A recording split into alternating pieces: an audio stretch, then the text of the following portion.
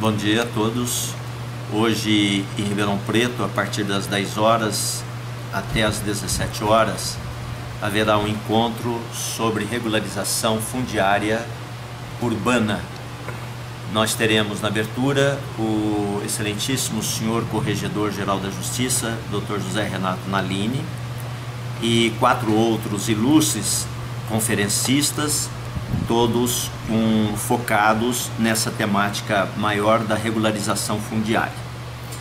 Estamos aí coordenando o núcleo da Escola Paulista da Magistratura, que compreende 83 municípios, e teremos nesse encontro a presença de inúmeros prefeitos municipais, procuradores jurídicos desses municípios, oficiais do registro de imóveis, e advogados especializados, os promotores de justiça e servidores do judiciário. Achamos que o evento é, se engrandecerá ainda mais, principalmente com a presença do idealizador do provimento 21-2013, que trata da regularização fundiária, que é o corregedor Dr. José Renato Nalini.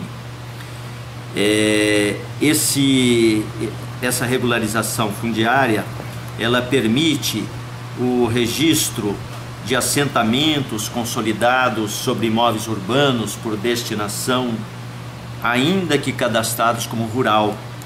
Isso confere a titulação dominial aos seus ocupantes, né? de modo a garantir o direito social à moradia que tem previsão lá no artigo 6 da Constituição Federal.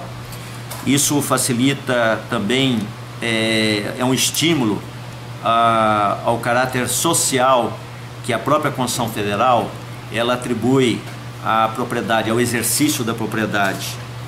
E também tem como objetivo serenar ou equilibrar né, as forças, é, os, os pulsões é, da sociedade urbana.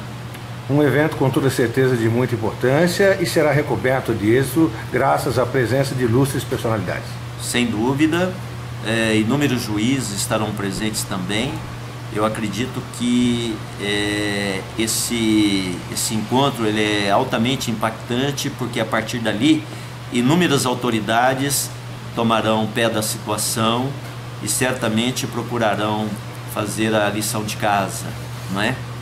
É importante isso para poder dar serenidade às pessoas que estão hoje assentadas em locais que outrora foram objeto esses locais foram objeto de fracionamentos regulares, elas terão como é, adquirir assim os atributos integrais sobre a sua propriedade, graças a essa regularização fundiária.